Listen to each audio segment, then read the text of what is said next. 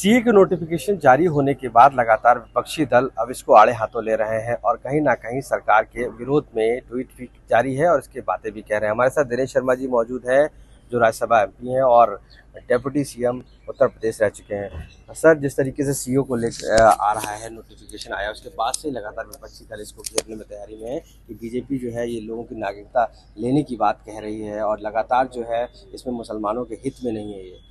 देखिए, वो अब मुस्लिम बंधुओं को चाहे जितना भड़काने की कोशिश करें भारतवर्ष का मुसलमान जाग गया है और उसने कांग्रेस की, समाजवादी पार्टी की और कम्युनिस्टों के और आम आदमी पार्टी की चालों को बेहतर तरीके से समझा है। आज छोटे बच्चे से भी पूछ लीजिए तो वो बताएगा कि सी जो है, वो सी निश्चित रूप में नागरिकता देने वाला कानून है। और किनको जो लोग उत्पीड़ित हुए पाकिस्तान में, बांग्लादेश में, अफ़गानिस्तान में, जिनकी माताओं, बहनों के साथ में अत्याचार हुआ, जिनके मकान जला दिए गए, संपत्ति लूट ली गई, जिनको जबरन अपनी जान बचाने के लिए भाग कर आना पड़ा 2014 के पहले तो ऐसे लोगों को अगर ये दिया गया है नागरिकता का अधिकार तो ये साधुवाद के पात्र हैं। और यह जो राजनीतिक दल हैं, मैं समझता हूँ इनको शर्मिंदगी का भाव नहीं है। इनके पास कहने के लिए शब्द कहाँ से आ जाते हैं?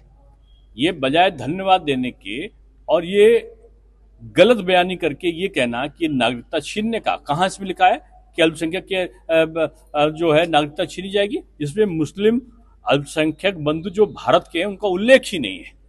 उनके अधिकार में कोई कोई प्रभाव ही नहीं पड़ने वाला है। प्रभाव किसको पड़ेगा? जो उत्पीड़ित करके, परेशान करके अफ़गानिस्तान, पाकिस्तान, बांग्लादेश से भाग कर आए हैं, हिंदुस्तान। उनको नागरिकता दी जा रही है। इसमें कौन सा उनकी तकलीफ़ है? कश्मीर में ये लोग जब जब रहते हैं। इतना वहाँ के कश्मीरी पंडित भाग के दूसरी जगह गए। उनकी चिंता नहीं की पाकिस्तान से कितने लोग भाग कर आए। उनकी चिंता कांग्रेस ने नहीं की आज अगर भारतीय जनता पार्टी की सरकार कर रही, संकल्प पत्र में था हमारे एक एक चुन चुन कर मोदी जी ने। यही तो उनमें उनमें अंतर है। वो घोषणा पत्र करते हैं और घोषणा जो है ढपोर संघ की घोषणा करते हैं। ये सपा बसपा कांग्रेस आप आप जितने हैं और भाजपा जो है संकल्प पत्र की आ, को अनाउंस करती है। और संकल्प पत्र के एक एक बिंदु पैंतीस ए हो ट्रिपल तलाक हो तीन सौ सत्तर हो जितनी भी वादे किए थे अब बचा हुआ था सी ए उसको भी पूरा किया है। इनको तो सीखना चाहिए बीजेपी से। सर क्या एनआरसी भी जल्दी नोटिफिकेशन जारी नहीं नहीं देखो जो भी है वो आपके सामने आया है।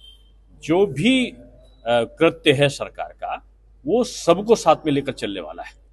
और आप देखो कि जो भी सरकार की केंद्र की योजनाएँ हैं, राशन दस किलो मिल रहा है उत्तर प्रदेश में, हिंदू को भी मिल रहा है मुसलमान को उसकी आबादी से ज़्यादा मिल रहा है। मकान अगर मिल रहे हैं, प्रधानमंत्री आवास तो मुस्लिम बंधु की आबादी अट्ठारह प्रतिशत है तो उनसे ज़्यादा प्रतिशत में वो मकान पा रहे हैं। आज हिंदू और मुसलमान देखकर, अगड़ा और पिछड़ा और अनुसूचित और दलित और सामान्य देखकर यहाँ पर कार्रवाई नहीं हो रही है। प्रधानमंत्री की चार जातियाँ हैं युवा उनको रोज़गार मिले महिला उनका सशक्तिकरण हो किसान उनकी आमदनी दुगनी हो और गरीबी की रेखा से लोग उठें। ये चार जातियों के उन्नयन का काम बीजेपी सरकार कर रही है और उसमें इनको सबको परेशानी है। सर आखिरी सवाल है वायनाड से राहुल गांधी ने एमपी का अपना फ़ाइल किया है और अमेठी और रायबरेली से अभी तक कोई अनाउंसमेंट नहीं है क्या लगता देखिए मुझको लगता है कि मैं किसी भी हर नेता का सम्मान करता हूँ आदरणीय राहुल जी, एक गृहस्थ जीवन को व्यतीत करने की तरफ़ तेज़ी से आगे बढ़ रहे हैं, ऐसा मुझे लगता है। और क्योंकि वायनाड में भी अपनी कम्युनिस्टों ने अपना प्रत्याशी खड़ा कर दिया है तो अमेठी से हारने के बाद मुझको लगता है कि उनकी बड़ी हार वायनाड में भी उनकी निश्चित है। और बहुत से लोग होते हैं जो पॉलिटिकल कार्यों के लिए बने ही नहीं होते और मुझको लगता है कि ये बेहतर समय होगा चुनाव के बाद। राजनीतिक रूप में बहुत सारे बड़े बड़े नेताओं को कांग्रेस और समाजवादी पार्टी के और कम्युनिस्ट पार्टी के बड़े नेताओं के लिए कि वो बेहतरी से मोदी युग को देखें और संन्यास लेकर अपने घर गृहस्थी की व्यवस्थाओं को ठीक करें। धन्यवाद।